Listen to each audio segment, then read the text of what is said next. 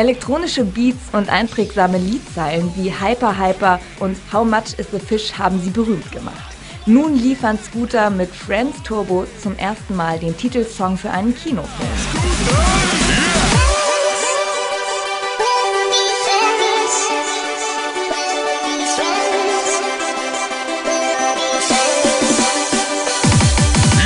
Bei unseren holländischen Nachbarn war die Komödie New Kids Turbo ein riesiger Erfolg.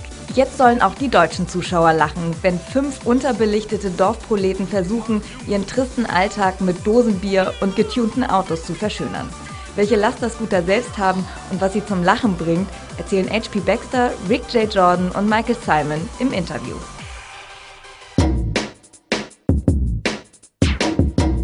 Ich meine, für den Laien ist das vielleicht manchmal gar nicht so erkennbar. Die sagen, wieso Scooter, klingt doch immer alles gleich.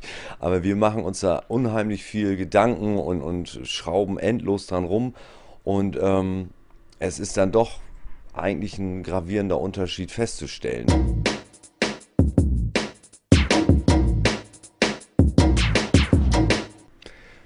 Nein, also spätestens, wenn man wieder im Studio sitzt, ist das so, man fängt, hat man das Gefühl, man fängt bei Null an, man kann nichts, man ist nichts, alles ist sinnlos. also eigentlich ist dieses Produzieren im Studio ganz geil, weil es erdet einen echt.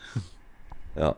Und, und, klar, je länger man dabei ist und dann kommen immer Ideen oder Themen und dann sagen wir, ach, das hatten wir schon, hatten wir schon. Manchmal haben wir schon an Sachen gearbeitet und haben dann festgestellt, das haben wir, das haben wir ja schon mal veröffentlicht und haben, wussten das gar nicht mehr. Irgendein Thema. also, das wird ja auch nicht einfacher.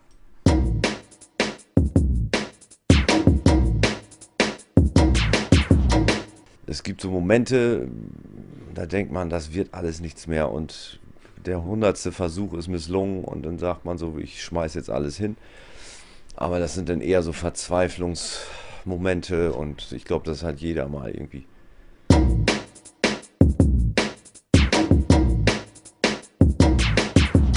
speziell HP ist immer noch nervös. Der rennt vor jeder Show, egal wo das ist, immer noch Kreise in den Boden. äh, aber ich finde find das auch gerade geil, dass man, dass man immer noch so ein, so ein Kribbeln hat und das nicht so wie so ein, ja, so wie so ein normales Ding irgendwie abfrühstückt und fertig. Also man braucht wirklich noch diesen, dieses, dieses Kribbeln Magen, man braucht diesen Thrill, diesen Kick, wenn es auf die Bühne geht. Und äh, deswegen ist das eine sehr gute Sache, dass es so ist.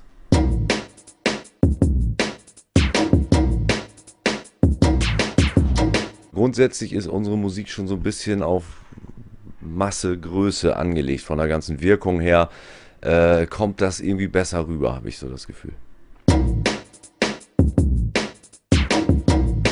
Luxushotel. Ja, immer Luxushotel. Bloß kein Tourbus.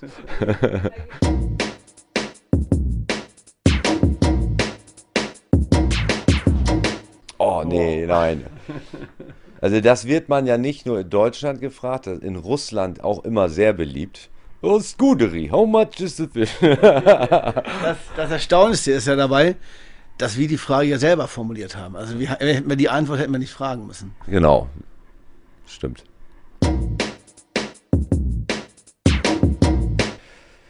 Da hilft fast nichts. Also in, in, im Extremfall war es meistens so, dass ich irgendwie gesagt habe, hat keinen Sinn, wir fahren in die Klinik. Da habe ich so einen Cocktail gekriegt, so am Tropf mit allem, was geht. Cortison, Antibiotika, volles Programm. Und merkwürdigerweise ist man danach fit wie ein Turnschuh und auch die Stimme ist wieder da. Ich hätte das gar nicht für möglich gehalten, weil die war richtig weg.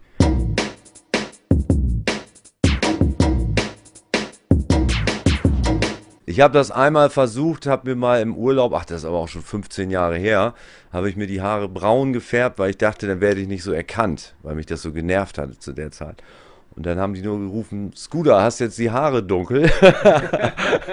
und es sah auch furchtbar aus. Ich habe das nach zwei Tagen wieder rausgefärbt. Rauchen und Wodka Red Bull. Nicht Frauen? Das ist kein Laster, das ist ja mein Hobby.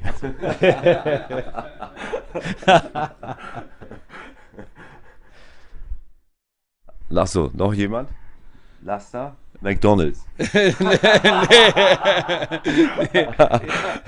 Wie heißt der andere Laden? Side Subway. Subway. Rickways auch genannt.